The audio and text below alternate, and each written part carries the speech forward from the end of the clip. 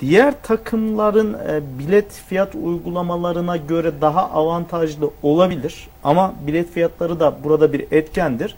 E, şu olsa atıyorum bir Sivas Spor, bir Antalya Spor sahası tıklım tıklım dolu Konya Spor'dan pahalı biletlere rağmen ama Konya Spor'un sahası boş. Bak şimdi böyle bir durum da yok. Biraz önce hani onu inceliyorum. E, hangi takımın taraftarı stadyumu yüzde kaç oranında doldurmuş, ne kadar gelmiş. Şimdi Konya Spor'da serzenişte bulunuyor ama e, Konya Spor'la birlikte ligde en çok göze çarpan takım hangisi? Adana Demirspor değil mi? Evet. Başakşehir'in taraftarı yok. Onu bir kenara koyuyoruz. Yukarıya baktığımızda Konya Sporu ve Adana Demirspor'u görüyoruz.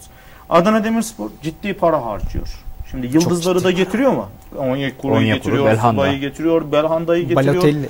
Ee, işte Akintola. Balotelli geldi, e, Stamboli var. Meşhur oyuncuları getiriyor. Yani bayağı Tanındık nit- oyuncular. nitelikli. Ve buna rağmen şimdi bu Adana Demirspor stadyumu full dolduruyor mu? Hayır. Seyirci ortalaması 16 bin.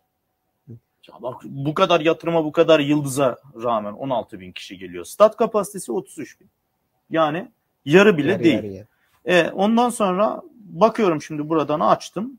Hatay Spor bu sezon kötü gidiyor. Stat kapasitesi 25 bin 5 bin kişi. Kombineler dahil 5700 küsür.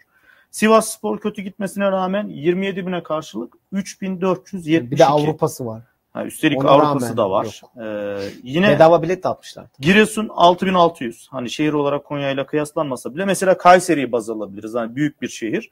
32 bin stat kapasitesi 7 bin.